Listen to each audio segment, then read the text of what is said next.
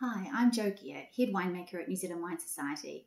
Each year, our tasting panel tastes hundreds of wines in search of New Zealand Wine Society Wine of the Year, and this year is no different. We're looking for a high quality wine, one that's flavourful, food friendly, and one that you'll remember.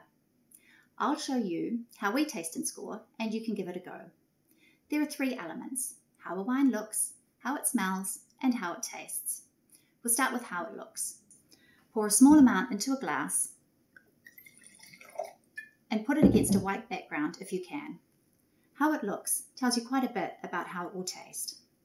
We score this out of three. Generally, a wine will score three out of three unless it's faulted. Next, how it smells.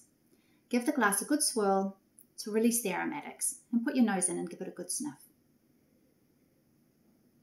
There are the primary characteristics which come from the grapes themselves and the secondary characters which come from how the wine is made or aged, things like nuts, butter, toast, and oak.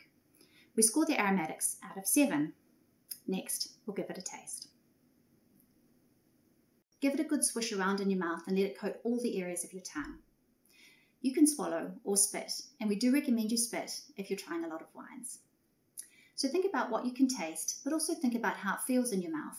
Think about the texture and the intensity and the balance, and the length. How long do the flavours linger? We score this out of 10. So that's 3 for it looks, 7 for it smells, and 10 for it tastes. That's a score out of 20.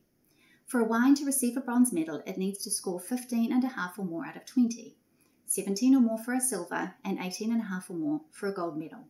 At New Zealand Wine Society, all of our wines are of bronze medal standard or higher, which means our tasting panel has awarded it 15 and a half or more out of 20 in a blind tasting. So that's it from me. If you would like to continue your wine journey, please jump online or give us a call. And don't forget to enjoy your wine.